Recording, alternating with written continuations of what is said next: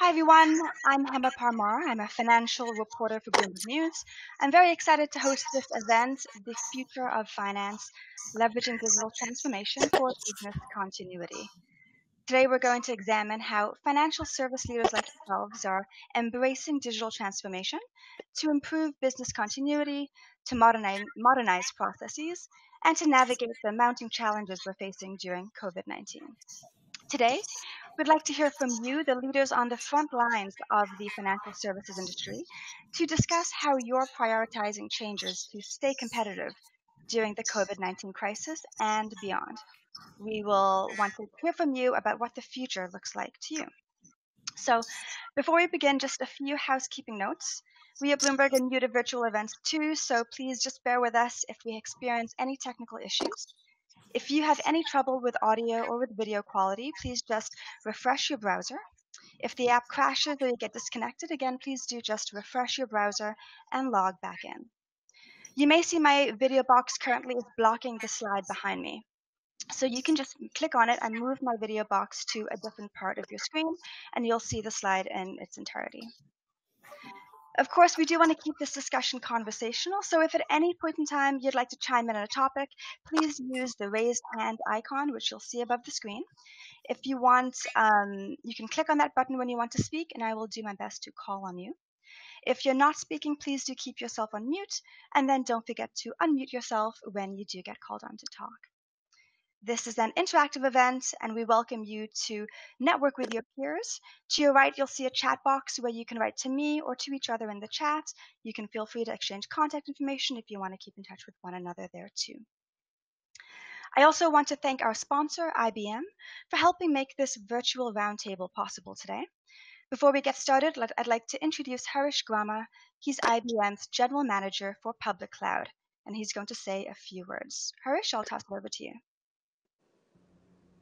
Thanks, Hema. Uh, hopefully all of you can hear me. Uh, good morning and good afternoon. I see some people from Europe as well. Uh, welcome to the event and uh, thank you for making the time to come here. Uh, so look, I may be from IBM, but uh, you know, in, in the not too distant past, I did do a cloud transformation in a large US bank. I was the CIO for cloud. Um, and so I really come at this from both sides of the coin, right? Uh, so if you think about today's landscape, COVID has certainly made it a lot more, uh, you, you, know, uh, competitive for us and hard for us to do our business. Uh, but even without that, all of you will absolutely relate to this. But increasing regulatory compliance needs, uh, the fact that you know data is so critical, all aspects of it, whether you're talking about data sovereignty, whether you're talking about data privacy, you know, prevention against data breaches, uh, the encryption and, and, and the uh, basic security around data, and, and just managing it from an infrastructure perspective when you're trying to do things remotely is very hard. And uh, for all of us here, you know, being in financial services firms, we also do know that uh, a lot of the new players, very successful players, technology players like Facebook, Amazon, Google, etc., uh, are also dipping their toes in a very big way uh, into financial services uh, and giving us a run for our money, right? So whether you're a senior technology leader or a senior business leader that depends on technology to get a competitive leg up, uh, you know, you're thinking about how to do business in these uh, trying times, especially given, uh, you know, some of the things that I just said. So what I'd like to do is, uh, you know, I'd like to give you an example, uh, both as a consumer working for a bank and now as a technology provider, uh, in terms of, uh, you know, what we've done uh, to, uh, you know, get ahead and and start our business, our digital transformation, change our operating model, etc. So I want to take you back a few years now, about two to three years, where you know, uh, banks, of course, were one of the last people to actually start adopting public cloud, right? Uh, and when they did start to adopt public cloud, uh, they were putting only applications that had public data associated with it because they simply don't trust. We as uh, bank people simply don't trust uh, the public cloud service providers for anything uh, like confidential data or confidential data with PII. So that's a risk mitigation strategy that seems to work. But the issue with that is, you know, if we're going to realize the full uh, return on investment that it takes for a bank to use a public cloud, uh, a lot of that app, uh, of the applications really have highly confidential data with PII. So, you know, how do you uh, leverage that better and put those applications out in the cloud uh, in a pay-as-you-go model with elasticity, et cetera, you know, resiliency, all the things that you get. At the same time, banks also face a different challenge, right? Uh, they do a lot of work with fintechs and SaaS providers.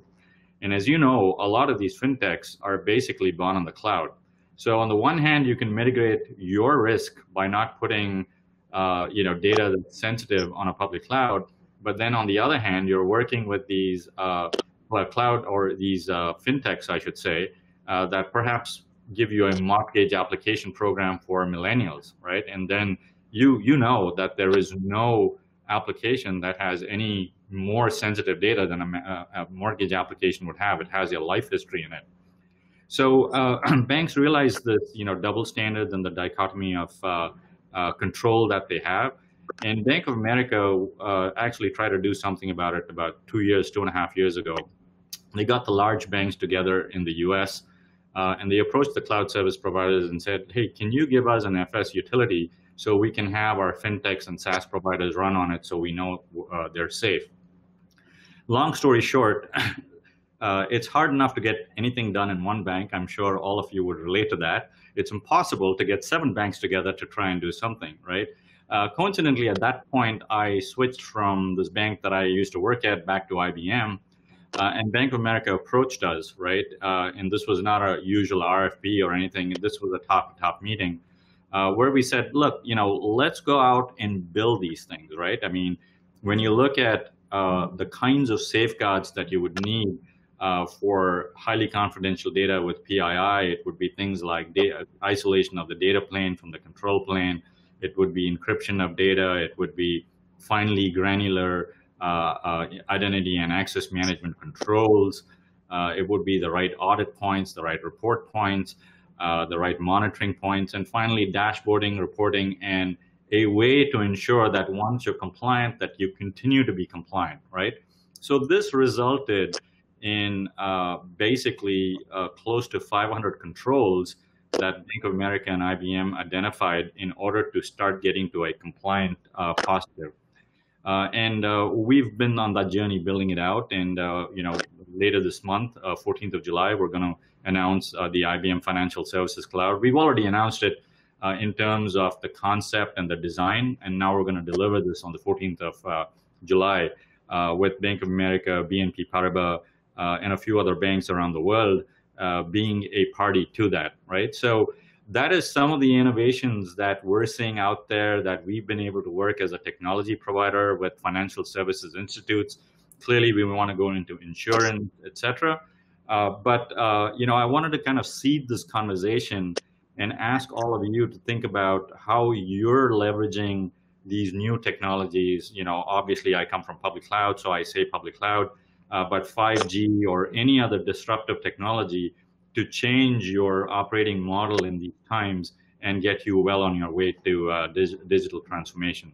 So uh, with that as a preamble, Hema, I'll turn it back to you. Thanks, Harish.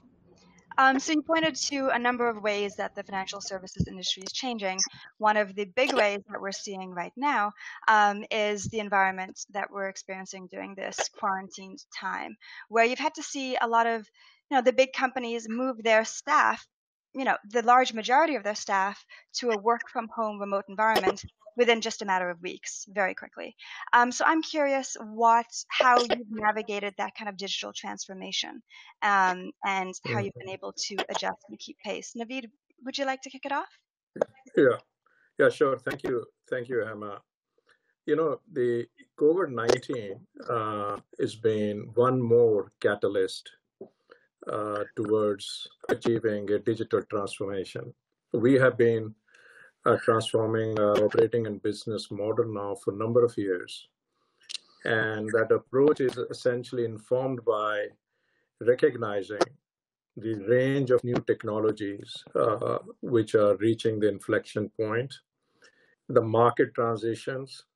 So, say in the context of ESG, the shifts we are seeing in globalization and reshaping of the supply chains, and of course, more importantly, how clients' expectations and their business and operating models are shifting. So those four five considerations have really informed our strategy to transform. So we essentially are very focused on uh, transforming our business and operating model. So in other words, our core infrastructure and core processes, our portfolio of capabilities and delivery channels, and the investment in new solutions as well as innovation. So if you look at the combination of the consideration and then the strategy and the fact that we've been executing it for a number of years now, uh, came in uh, very handy when we were had to respond to COVID-19. So this this unprecedented phenomenon, at least in our lifetimes, we were able to uh, move most of our staff, about 90% plus, remotely. Um, we didn't experience any disruption or logistical uh, friction. And at the same time, we enabled our clients to continue to do their business. So my point is that I think COVID-19 is a further uh, is providing a further impetus to make a transition towards a digital uh, complete digital operating and business model. Absolutely. Takis, I see your hand up. Um, did you have thoughts on this topic? Yeah, I just want to build on what uh, Naveed was just saying. So for us, it's a pretty similar story. Uh, there was a complete shift to work from office, from home within a matter of a few days. While at the same time, we were also seeing a spike in volume on a typical day, we move $7 trillion. At the end of March, we were moving close to 10. Um, and yet, a little bit to my surprise, uh, the operational resilience of the business and of the industry was actually there. And now, three months in into the COVID crisis, with most of the people in most parts of the world still working from home, we have not really seen any material impact in terms of the speed of delivery in technology, in terms of how we are able to serve our customers, uh, in terms of any of the operational metrics, in terms of the deliverables that we have in front of us. So I would say it's more or less BAU. Yes, Zoom has replaced in-person meetings, but it's more or less BAU. Uh, the two comments that I would make is this has worked for the last three months it's not clear for me if it's kind of you know it can work um, indefinitely because there is value to having people working together. There is value to whiteboarding. There is value to team meetings in person. There is value to that community that people build in the office. So i'm hoping that at some point we will be able to to get back to bau the, the one component that i would stress though is that even though the vast majority of the people were able to work from home we had something like three and a half thousand people that could not work from home, and these are the people that uh, that uh, manage uh, paper transactions, what is known as the lockbox, um, which is kind of a, a, big component of the business for a lot of our clients because 40% of payments in the US still happen by check. And I would say two things there. First, uh, we were able to maintain the social distancing, keep our people safe, give them food, transportation, and everything else, and still manage to maintain uh, the processing of that paper volume. But at the same time, for the first time, I'm optimistic that the amount of paper, at least in the United States, because the US is a little bit unique in that respect, will start going down. Uh, because our clients are much more receptive to conversations around uh, transforming paper to electronic, because they realize that there is a real risk there. It's not only whether JP Morgan will be open, it's also whether the post office will be open and their mail will get delivered. So I'm hoping that that will provide kind of further incentive um, to reduce the amount of paper uh, and use some of the more modern electronic payment methods. Excellent. Yeah, Takis, you pointed to a good point about um, how quickly everyone's been able to adapt to these times um, but then questioning the longevity of sustaining business as usual, or the way it is today anyway. Rania, how have you changed things over at Scotiabank to adapt? Thanks, Hema. Uh, just to add to what uh, my colleagues Naveed and Takis were talking about, I mean, I think the pandemic has really had a profound impact on how we interact with our employees as well as with our customers and has been a great catalyst in terms of the acceleration of the digital transformation journey that we've been on over the past five years. Uh, to kind of add to what Naveed was saying at Scotiabank, we've been on this digital journey for a number of years that has served us really well into kind of making a decision to move everyone to work from home. Over 90% of our staff globally are working from home and making sure that our systems are resilient uh, that we've invested in our infrastructure and technology from a safety and security perspective. Um, so that has allowed us to be able to continue to deliver for our clients during this pandemic. Um, and then in terms of interactions with our customers, from an employee perspective, I would say that we've also been on an agile mindset journey. And so agile is not really just for technologists, particularly my business. I run the payments business for the bank globally. And so leveraging tools, going back to what Takis was saying, like daily huddles, interactions, whiteboarding, and, and leveraging new technologies and innovative solutions. I would say we haven't skipped a beat in terms of ideation, whiteboarding. We're constantly testing new technologies to be able to continue on that.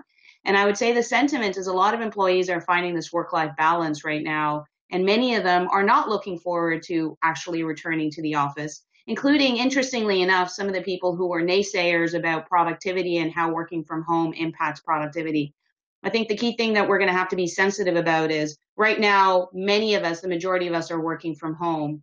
But when some of us go back to the office versus some stay at home, how is that going to work? How will that work from an equality perspective, from an interaction perspective, and kind of a collaboration perspective?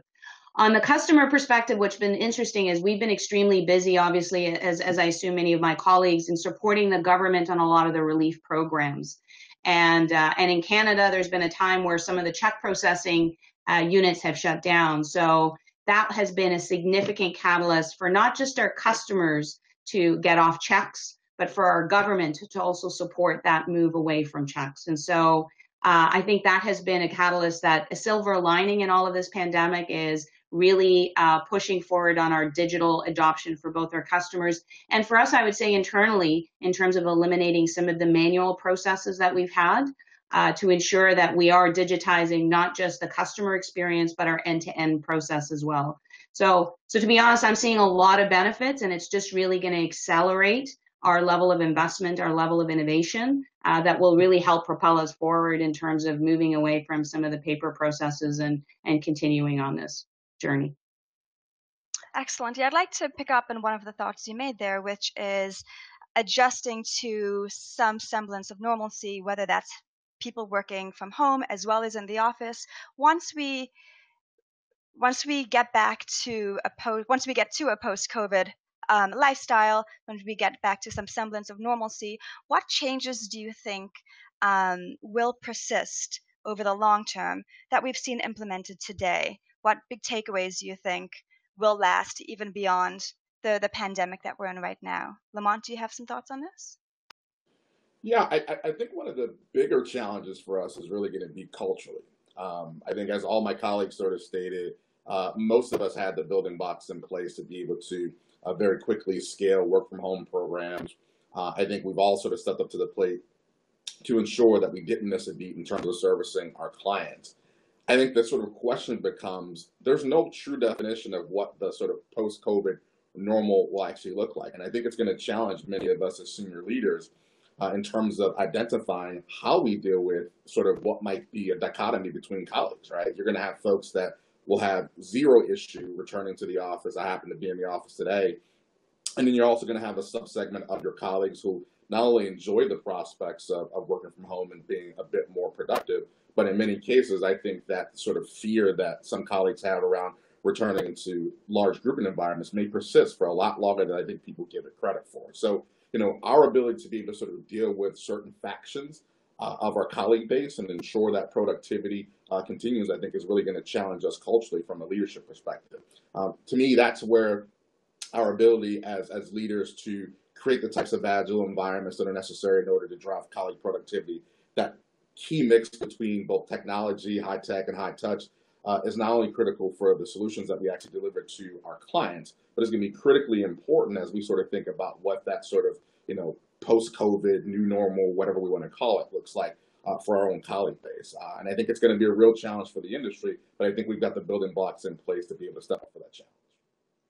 Yeah, so pointing to the cultural aspects of a new world as well as technological advances too and adaptations. Daniel, what um, what changes are you preparing for within your team and, and your workplace um, to adjust to a new sense of normal, um, and what does that look like? Do you think for you? Yeah, I, I would like uh, uh, to reflect also on the moment of the transition before COVID into COVID and what will be COVID afterwards. I think COVID has demonstrated the value of the invisible preparation work that no one knows uh, is there. I mean, we we, we ramped up, up our connectivity, our VPN connectivity from a few thousand people a day to more than 50K in few hours. That doesn't happen flipping a switch. I mean, that happens because in the past two years, some people were working on preparing the capability without anyone else knowing. So I think COVID has demonstrated the value of the invisible work that IT does to be ready for events like this one. And I'm, and I'm extremely proud of what uh, IT and technology has done to keep the, the boat afloat uh, during the, especially the initial part of the crisis. In Italy, uh, the crisis, uh, let's say in organizational terms, started the end of February. And in a matter of few days, we had everybody home uh, and we were in crisis mode. Uh, and, and, and, IT just took the blow and, uh, and kept the, the boat afloat. So the value of the hidden work is one huge, huge recognition. Then COVID is uh, transforming the way our customers are consuming uh, uh, banking services, knowing that some of them will become more digital, of course, but many of them will still stay in the previous world. And we need to find ways to serve them in a COVID remote work uh, type of, uh, of setting. And this is one part of the journey ahead. And then the last bit that I'd like to share is uh, COVID has demonstrated that digital is not a technology game and I'm provocative on this one. Digital is not just throwing more toys and throwing, throwing more tools into the pond and believing you become uh, digital and become something better, something uh, I would say more e- easy to use. Digital at the end of the day is a people story. Digital is designing products and services to be usable by, I would say, lazy and uh, and impatient customers, i.e., you don't want to click two, uh, two times more, you don't want to, uh, to wait more than half a second, and that's not a technology game. That's a skill, people, attitude, product design game, and this is what COVID is showing us. Right? If you want to become more digital, we need to think to the end-to-end customer experience uh, in a in a relentless way, in a different way than what we did before. So the value of people as it pertains to integrating with technology, and also the value of preparedness Massively. for when an emergency situation happens, like we're seeing now. Ido, I see you have thoughts on this topic.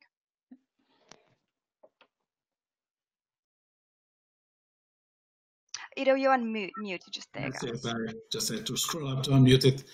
Um, yeah, I think uh, a few things. First of all, I agree with uh, most of uh, the points that were made before, but a couple of uh, things to highlight. Uh, one is that when you look at the transition to work from home, uh, one of the challenges you have, I think, uh, was mentioned by Takis around, you know, paper-based type of functions, but there are also functions like uh, call centers and BPO in that, you know, are typically uh, we run out of uh, low-cost countries or geographies, and um, you know, the the added challenge that you have in those geographies is that the home environment is not necessarily always um, conducive to uh, working from. So, for instance, internet connectivity is not something that's always available in a reliable way um, you know, space um, and uh, even equipment, even just a, a plain computer that you can deploy onto uh, or, or take uh, from the office. So we had um, struggled uh, with, um, you know, with getting those um, uh, those people effective and operational. And um, we've done a pretty decent job because what we've done is, and this is where I think cloud is really shining, is we've relied on some cloud technologies to uh, implement things like contact center in the cloud, uh, VPN uh, ramp up, uh, we ramped up, to, you know, as, as, was said before, very, very rapidly by using cloud scaling. VDI is an example for people that, you know, we couldn't ship the equipment to them because security wouldn't let us kind of take it through the cities. Uh, we were able to deploy VDI very quickly to them so they can become operational. So I think the conclusion from that is that uh, cloud scaling has really showed that you know it's um, uh, it, it, really delivered on the message and on the promise of uh, scaling. A, a, great example of that is Teams from Microsoft. Um, you know, they had at some point 700% growth uh, within the first week, I think, of uh, everybody going to work from home. And with the exception of some, um, you know, some issues they had on the first day, they really scaled up very quickly, which they would have never been able to do without the uh, cloud scaling capability. So that's one point I wanted to make. The other one is that um, it's very fascinating to see when we moved everybody to work from home, how quickly we were able to get people to actually learn how to use the collaboration uh, packages. Something that would have taken us probably two years to get people skilled in in how to use Teams uh, to the end degree in terms of collaboration, um, they've learned within weeks. And the reason is, you know, necessity. So necessity has really driven uh, a change in terms of the mindset of people around how to use technology. I think we're now at the point where our management and our teams realize that you can do a lot of what they never believed you can do uh, in a digital way and uh, remotely. So that opens up a whole set of opportunities for us. And if you think about it, right now you ask the question of what will happen post COVID. The reality is we're already starting to take steps. So, for instance, our footprint is going to be um, cut down by half, most likely. So that means we're never going to go back into everybody in the office. And uh, at least half of our people are going to be continuing to work remotely.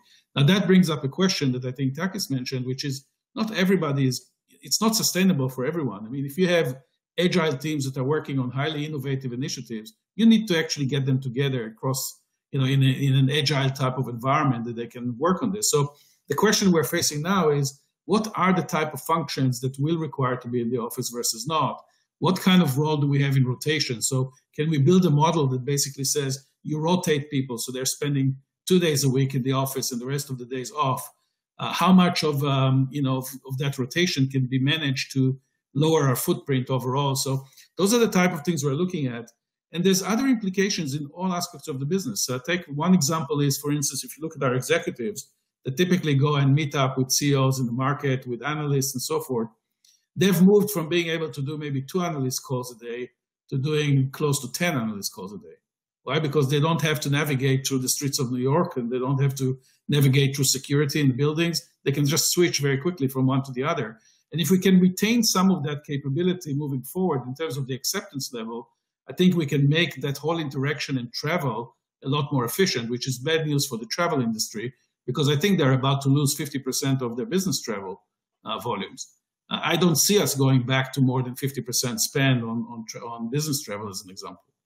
So um, there's a lot of interesting aspects of this that are coming to, to life now, to light now, that we're looking at. One, one last one I'll mention is BCP.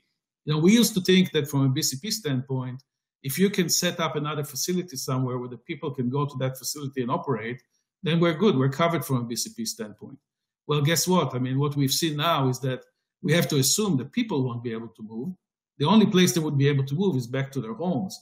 So we need to have a solution for BCP that really allows people to either work from home or move the actual workload to another geography. So all of those things are starting to come up and uh, are very interesting in terms of how that shapes our, our work uh, moving forward um, on the business side, on the enterprise side. And then from a product and from a consumer behavior, there's a lot of changes that are happening. I mean, some of the things were mentioned around uh, the uh, reduction on reliance on things like checks and so forth in North America. But if you think about um, touchless payments, nobody wants to touch a, a keyboard anywhere anymore. So moving, we're starting to see that movement in transactions into touchless more and more. We're starting to see traditional point of sale type uh, um, merchants moving to virtual point of sale. So there's a lot of movement in that space that's going to last for a long time post this COVID. Thank you. So yes, a lot of adaptation and change from touchless keyboards to cloud computing. Um, Michael, what changes have you implemented to adjust to this time? um, on the digital side, or what what technologies have you ramped up? Yeah, I think I think what you've heard, we, we, have talked about a bunch of these things. You know, we were able to very successfully transition transition, excuse me, to uh, to a work from home model. Uh, going back to Daniele's point, you know, the preparation that we did ahead of time to this change was was absolutely key and instrumental for us to be able to do that. But I think what you're hearing overall on this call is that uh, with the introduction of the constraints, the COVID constraints, we're all being forced to innovate in different ways. And so those, the COVID constraints are forcing us to think differently about how we work with our teams. Um, you know, I would say the new normal of working from home uh, or in a blended style where you have people in the office uh, and at the uh, and at home is causing uh, organizations to think differently. And to touch on something that Lamont said, I thought was really important. He talked about the cultural shift. There's a cultural shift inside the company uh, in terms of how do we work. And I, actually, what we find is that the barriers when you talk about that balance, that work-life balance, uh, you actually see people working more. Uh, and so the, the, the focus on work point, work-life balance becomes a little bit more interesting because even though you're at home, the boundaries between home and work are are less clear and, and understanding of you know sometimes you're on a conference call at seven o'clock at night or you know five o'clock in the morning, and so how do you balance that out? But one of the interesting things I think we're all going to face on that cultural level is that for all of us, we're all very large companies, big financial institutions, and it's not just about us. It's about the ecosystem that we live inside. We have partners, we have customers, and they're all facing the same uh, work from home. They're facing the same COVID challenges. They're facing the same technology challenges. And that blend of that ecosystem of your partners working with you, working with your customers, with your compliance, you know, all of those constraints that you're all having is going to force additional swirl, additional focus inside uh, the organization as a whole as to how we deliver our our end products to our to our customers. So I think when you think about how it's changed, I think cloud has become uh, it's a de facto. A lot of us have uh, you know sort of legacy applications that have been around a long time that are hard to move or refactor to the cloud. Uh, but I think from an access perspective, how our consumers are consuming the products and services, uh, they are driving a substantial change at different layers, whether it's the access layer of how they come in and use your products or the expectations of how those products interact with other products that you may have or others in your ecosystem may have. So I think I think the changes that we're seeing today are cultural, and they're techno- technological, but there's also this interaction. You know, we probably do business. Everyone on this phone or on this uh, video, sorry, uh, probably interacts uh, at a business level with all the, with everyone else on this call at some point. So I think you know how we all blend together is going to become important, and the expectation ultimately of our consumers is going to help drive a lot of that adoption uh, and some of the change that we are going to have to make internally as well. No, that's very good points. Swamy, I wanted to bring you in on this. Um, do, what do you think about the risk of cybersecurity? How do you protect against cybersecurity threats? Are we more vulnerable now, given the reliance on cloud and people working from home and um, people not having access to their physical workspaces? How do you reconcile this this issue, and is it a greater issue now nowadays? Yeah, thank you, Hema. I'm sure you're saving the best for the last. Uh, you know, one of the things that uh, we know even before COVID is the insider threat uh, is one of the most um, vulnerable threats that uh, we would have from a cybersecurity perspective. If you look at any statistics, uh, a majority of the threats come from insiders. So with all the equipment and 22,000 employees uh, working remotely at S&P Global, we have built a platform that protects us from the insider threats. You know, whether it is training our employees with the phishing simulations, uh, ensuring that uh, we have the multi-factor authentication. All those activities that we have done leading to pre-COVID really helped uh, in the post-COVID, you know, whether you call it the new normal or new abnormal.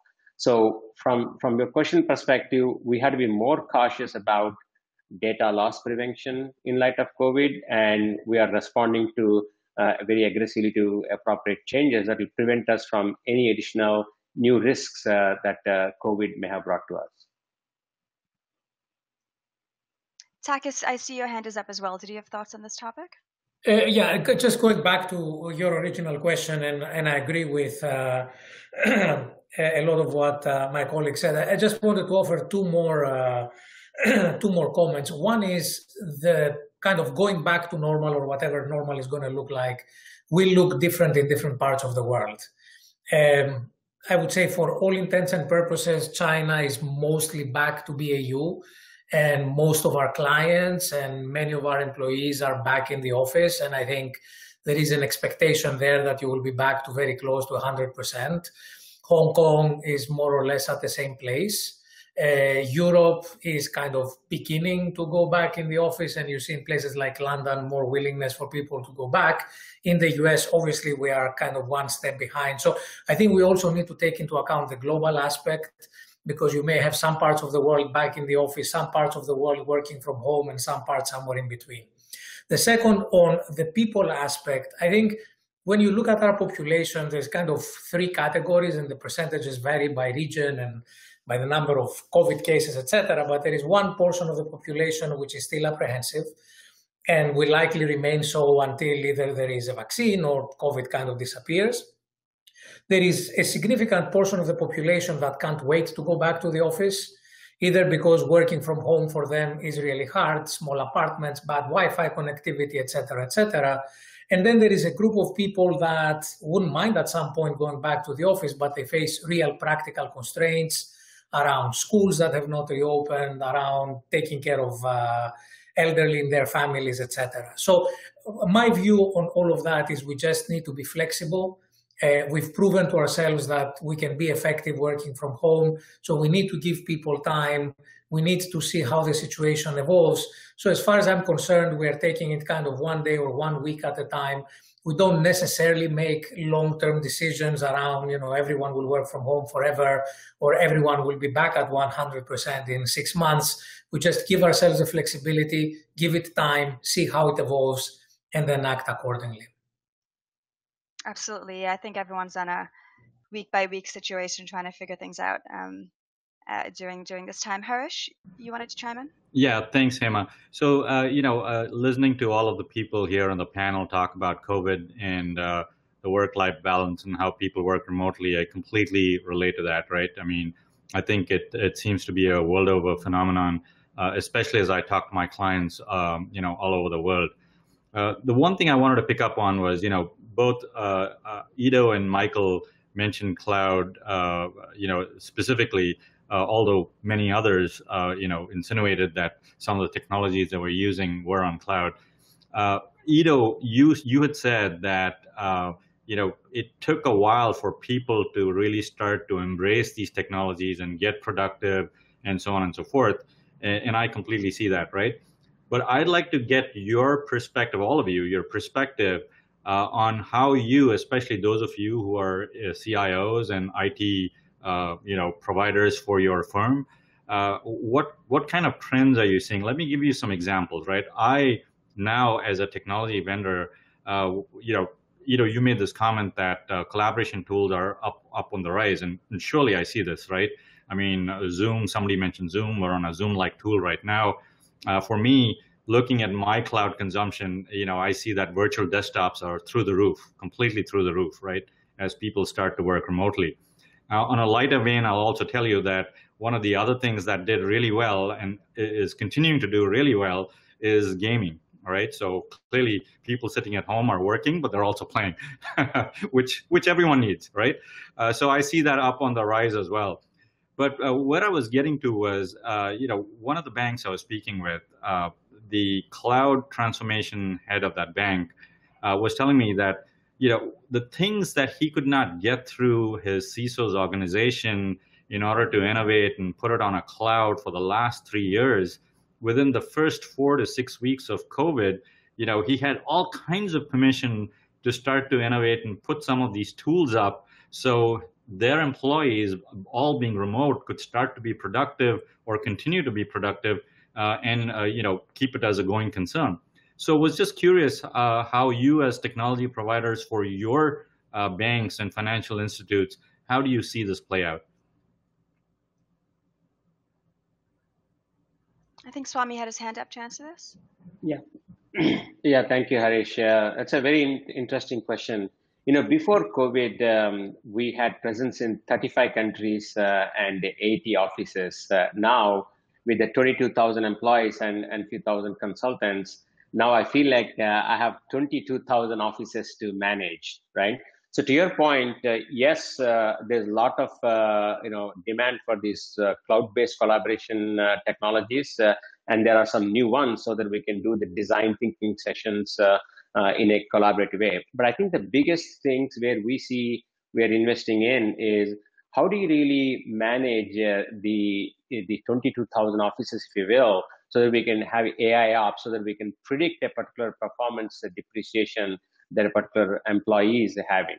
And second thing is when we think about um, you know developing applications, developing services, we have to really think about the edge a uh, lot more, especially for the 22,000 employees that we have. So the technologies that would provide a lot more services at the edge is an important aspect of our uh, new investments as well.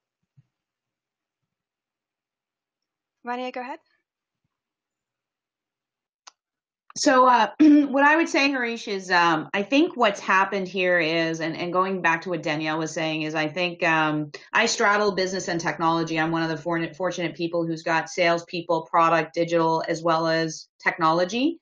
And what I've seen is there the heightened appreciation of technology. This pandemic has really kind of showcased the importance of te- the technology teams and what they do behind the scenes. So, so going to what you're saying, Daniele, it's all that preparation. And so there's a much bigger appreciation for what technologists do. So I, so I think that's a, that's a key important element that this pandemic has created.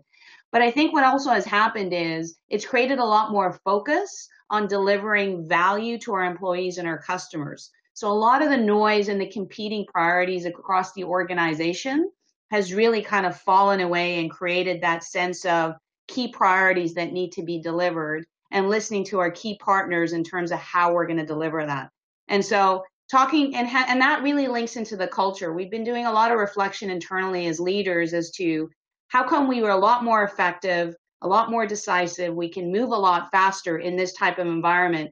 And I think it's because all of the competing priorities have fallen away and we've narrowed it down to a focused approach and that really drives productivity and results. And so, so I would say that's why. So even though these discussions have been going on for a long time, it, this has really kind of brought it to the forefront in terms of, you know, where are we investing our money? How valuable is it to our customers and our employees and to our shareholders? And let everything else fall away. And so I think everyone's revisiting their roadmaps and focusing in on the things that are, are critical in nature. And I think that's something that's going to continue over the next 12 to 18 months, given the uncertainty around, you know, uh, the economy, our customer base, the way we operate, and so on. So, so I think I think that's that's really the reason why I think everyone's been able to move along. But I'd, I'd love to hear from my other colleagues. Lamont, did you want to chime in? I see your hand up. No, I, I, I would um, just echo um, those thoughts. I think sure. sort of COVID is, is, is really sort of expedited uh, some of the strategies that I think most of us as banks already had in place. So we were already sort of going digital, many of us working on transformations to not only digitize the front end of our solutions, but obviously digitize both the middle and, and the back office. Um, you know, the example that I know has been cited by a lot of my colleagues in the US is you know, how we all sort of came together once the government announced the PPP program. And literally overnight, uh, many of us had to transform not only the ways in which we actually develop and deploy technology, but even decision making rights. And we had senior leaders literally on call, making real time calls around what we were going to do with that program. And, and, you know, we had the ability to sort of deploy our PPP solution in a matter of two weeks, something that I think in an old environment may have taken us sort of months to do. And so the new normal that I get excited about, that I think is very, very clear, is our ability as a financial institution to really focus on core problems, focus on adding real value, and really getting decision makers to cut across all of the muck to really focus on delivering those solutions. So that's the real, at least in my opinion, the the uh, the, the real new normal that I'm excited about.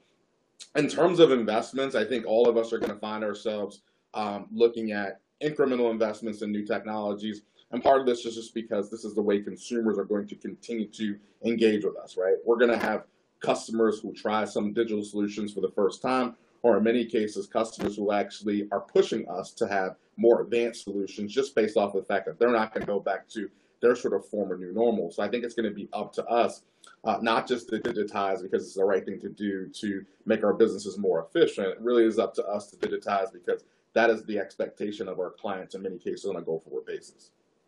Absolutely. I think you've both touched on two things, which is this nothing quite like a pandemic to really force companies to evolve and adapt and change, um, and and to to make them the best or most out of the situation as you can. Um, they say innovation. Hema, can is, I can I just add a couple of things? Sure. Is that Sharon? Yes. Yes. Go ahead. Sharon. Hello. Great. Um, so I think I think the one thing that I'm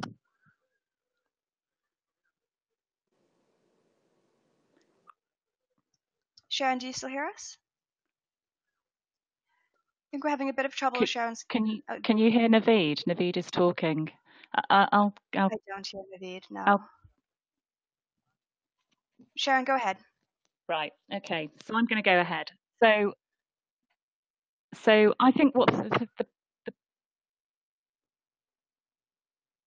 Okay. So I think the um, sorry, Naveed was talking, um, and I obviously there was only a small amount of people that could hear him.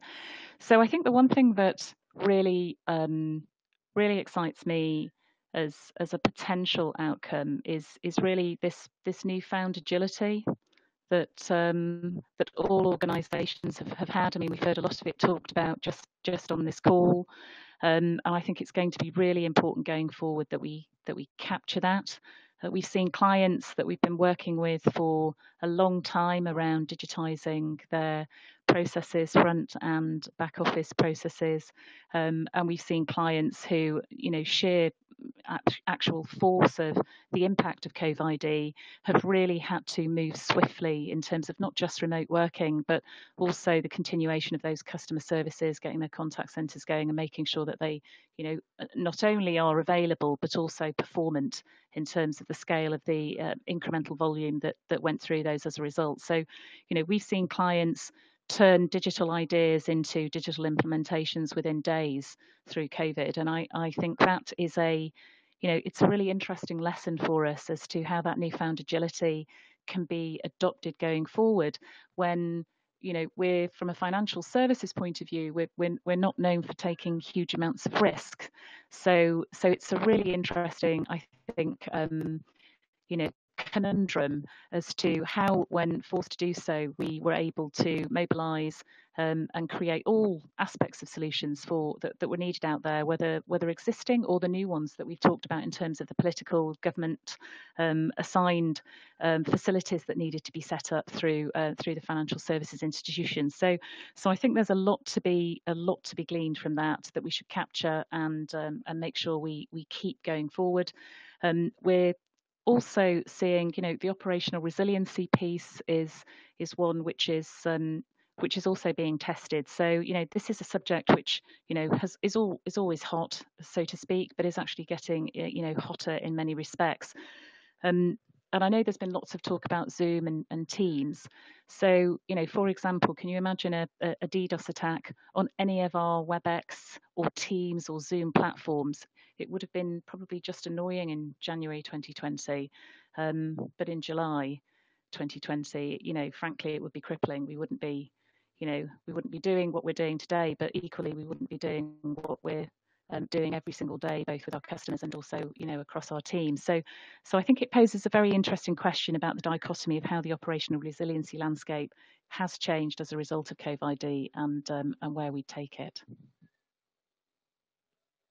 Absolutely, Naveed. We don't have you, do we? We oh, we'll give it a couple minutes and then we'll get back to him. I know he has some thoughts he wanted to share. Um, I don't still I don't hear Naveed. So I'm going to just keep going, and then once we get him back, we'll we'll get to his his thoughts. Naveed? I still don't hear Naveed. So Naveed, I'm going to put you on. We'll just pause on you for a moment, and then once we see and hear you, we'll definitely bring you back in. To the point um, on agility and adapting to these times. Um, they say that uh, necessity is the mother of invention. I'd like to talk a bit about innovation and competitiveness and how you manage um, innovation when everyone's working from home. Is that being compromised? Can you still have the same kinds of brainstorming But if you're not in a conference room together, all chatting about how to be creative or how to stay competitive? Um, how has how are you managing through that that specific hurdle? Michael, do you want do you want to tackle that? Sure. I think I think um, you know with regards to what this does from an innovation perspective, we talked a little bit before about how uh, the constraints cause more innovation to happen. It's not just culturally, it's not just within the organization, but I think with with what's going on in terms of um, the changes in our consumer behavior, uh, the changes in how and what people expect from their financial services partners, whether that be on the uh, on the on the credit card side from a merchant perspective, all the way through uh, sort of you know sort of the back end uh, financial systems. I think there's a a series of changes that are happening there that it's forcing us to think about you know the la- the multiple layers of innovation. From an access perspective for how that information gets aggregated from a how does the information and what should be the approach uh, you know i think uh, harish talked about uh, you know the introduction of introduction of cloud and and being able to use it but it's really it's not just about the cloud right? It's about data. It's a data driven it's, it's turning more and more into a data driven set of requirements that we are having to look at uh, and having to build around and then build solutions around. Whether you're talking about field and level field level encryption, so that you could utilize cloud uh, in a much more aggressive way, perhaps than you would normally. Um, the interaction between you know those assets and those capabilities that you want to maintain as an organization uh, in the house. I think all of these things are coming together and forcing organizations to think about how does our end-to-end architecture look today how do we connect to our customers? How do we connect to our partners? And what changes in expectations on speed, timing, uh, security? All of those things are coming into uh, into focus. I mean, they've always been in focus, but they're really becoming uh, very focused underneath the you know, and as a result of the the, the COVID crisis. Uh, you know, we talk go, just going back, right? The ability to bring that focus, what we call COVID clears. Uh, uh COVID clarity and COVID urgency are terms terminology we use to help drive and get you know sort of fast track a lot of the innovation that we're having because we know there's a huge benefit, a huge impact to our customers right away. So I think it's I think it's changed how we develop. It's definitely changed on how we operate, and it's it's just changed just about every aspect uh, of how we think about our work and our products, uh, you know, across the spectrum. Yes, COVID clarity. Very, very um, interesting topic. Um, Naveed, did you want to? Naveed, did can you, you want to talk? Yes, we can. I can yeah. hear you. Yes. So sorry, I've been in and out, and uh, the technology. So so so much for the technology. Uh, I just want to make a couple of comments. Uh, one is this working from the office or home. I don't think it's a binary choice. I think what COVID 19 has done, it has taught us, or we have learned, what is possible beyond the traditional structures and traditional ways of working. You know, naturally, virtual um, working virtually from home has its benefits, but the physical space has lots of advantages which are not available in a virtual space. This is social cohesion, development of culture. And if you look at the research, most of the learning actually happens in the office settings because you learn from each other. And I think there's one important element here that it will enable us a combination of working from office and virtually to enable the companies to pursue diversity even more so because there are people who have set of circumstances they would rather work from home. Uh, single parents or people may have the primary uh, caretakers. So I think the businesses will have a far greater flexibility to adjust based on the needs of the subsegments of its workforce. Uh, so I would look at it in a very positive manner. The second point I want to make is on uh, on this crisis, and I think somebody alluded to it earlier on you know just to if you if you look at the word crisis in chinese it has two characters one means danger, the other one means opportunity. Essentially, what happens is in time of crisis, the orientation is more towards risk than towards the opportunity. And if there's a strong, compelling economic logic to something, then during the time of crisis, I think it's a lot easier to get it done because organizational barriers tend to uh, fall away. But if you look at some of the uh, one of the recent McKinsey survey, where the question was asked during the crisis, what is your focus on innovation? So pre-crisis, it was about 55% in terms of the importance. Now it dropped uh, down to about 30, 30% of their thereafter uh, or thereabouts. And then as we go through the crisis, it slightly picks up. And then in a normal economic environment, then try and regains its regional focus. My point is that during the crisis, uh, it is very important for us uh, as business leaders that we don't lose sight of the opportunities it offers and which obviously requires investment and continuous innovation because when you come out of the other side your ability to lead the market or gain significant advantage will be far greater than the fact if you stifle the business during the time of crisis. Thanks, Naveed. I wanted to stretch that thought over to Swamy, um, how you're looking at innovation and managing risk and opportunity. Yeah, I think Naveed's uh, spot on. You know, the cultural aspects of it and the opportunity. I think the, the most important thing is we have to build in post-COVID world on the foundation that uh, you already may have built in the pre-COVID world.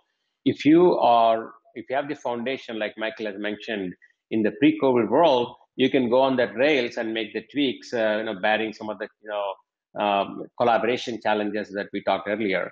At S&P Global, what we have done is um, we kind of combined three things. You know, Essential Tech is a program that we had where we took seven areas where we said that in order for us to innovate, we had to first upskill our employees. So all of our 20,000 employees had an opportunity to upskill themselves in seven key areas. And then we said that we need to then give our employees an immersion experience where they get to work on projects. So we have a lot of cohorts that we built on those seven areas and then map that to the future of the work uh, on how do we develop the careers of the people along that essential tech training that we have done, essential immersion.